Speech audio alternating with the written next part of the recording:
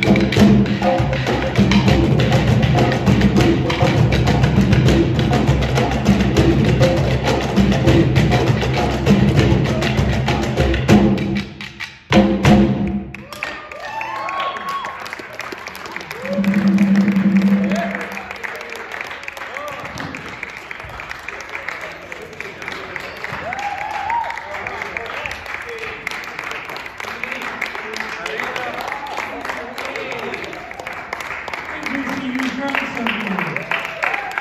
Tonight, you come to my phone, and special guest,